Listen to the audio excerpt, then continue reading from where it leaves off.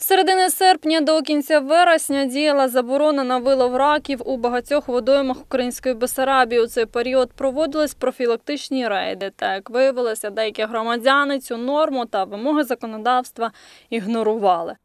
Так, при проводячи рейди по місцевому ринку, нашими співробітниками було встановлено декілька фактів вилову незаконної торгівлі уже виловленими раками. Е, Всі троє, це було три випадки. Всі троє правопорушників були притягнуті до адміністративної відповідальності.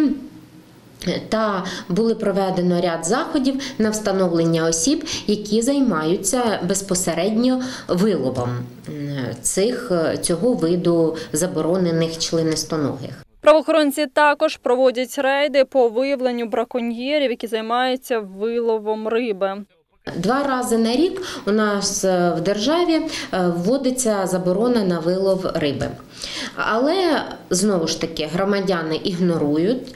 І замість того, щоб виловлювати е, е, ці біоресурси вудками, вони е, використовують сітки, що категорично заборонено тільки для е, дозвіл існує тільки для підприємств, які займаються безпосередньо рибним промислом.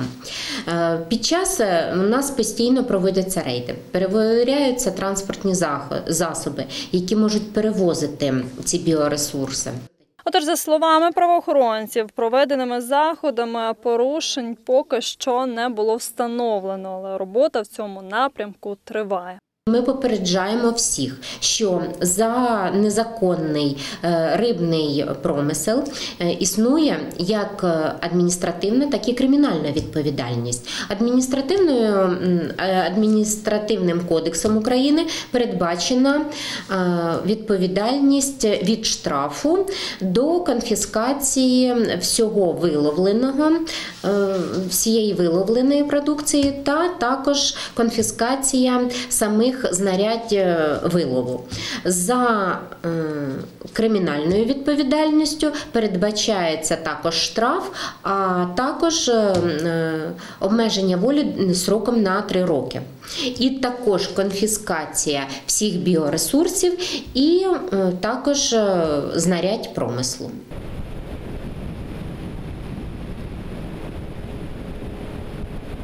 Тетяна Карпенко, Віталій Солодухін, Бесарабія ТВ.